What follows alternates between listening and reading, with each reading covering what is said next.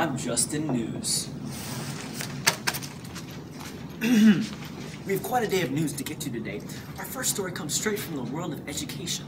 The word is that the new teaching tool, Google Earth, is being used in classrooms all across the country to take kids to places they've never been to without ever having to have them move one muscle.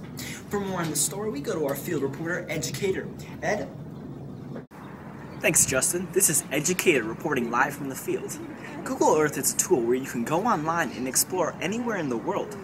You can go from London to Beijing to Timbuktu, all without leaving your seat. For more on this story, we interview Matt Bockenfeld, the future educator.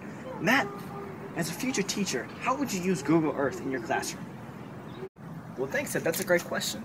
With the capabilities of Google Earth, I can show my students different geographical locations, and I can show them the environment. And on top of that, I can also show, uh, teach them about different world cultures because I can take them to the actual location where those cultures develop. Thanks, Matt. That's fascinating. But is Google Earth only useful in geography class?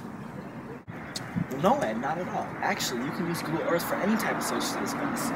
For instance, when I, when I want to teach about the Battle of Gettysburg, I can take my students to the field where the battle was actually fought, and I can show them Little Round Top, where the tide of battle changed. And I can make history come to life through Google Earth. Students don't learn best when they all the learning is trapped in a textbook, and Google Earth is a great way to make it come to life. It's such a useful tool. Thanks, Matt. Sounds like a really great tool. Now back to Justin. Thanks, Ed and Matt. Has anyone ever told you guys that you look strikingly similar? Never mind. Well, anyways, we're gonna go to a quick break, but on the other side of this break, scientists believe that they have discovered a tribe of cannibals in northern Wisconsin. Stay with us.